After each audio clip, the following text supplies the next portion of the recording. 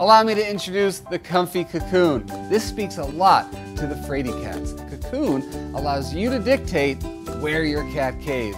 Your cat can roll on it, they can sit on it, obviously sit in it. If they can smell themselves on it, then they own it. We've got two openings with really rigid wire here. That means we can go as open as your cat feels comfortable oars closed Do they like to really go under your covers, for instance, then down like this. If they like to just go in something and be able to see the other side of it, there you go. And you've got the middle wire here to make sure they can see all the way to the other end. Here's another really cool thing. Your cat has an exit route. They can get out of Dodge or they can be comfy and you can close it on up. This is you getting to know your cat. When you learn who your cat is, then you can spread it out. You can catify your world, but more importantly, you can catify your world according to your cat's needs.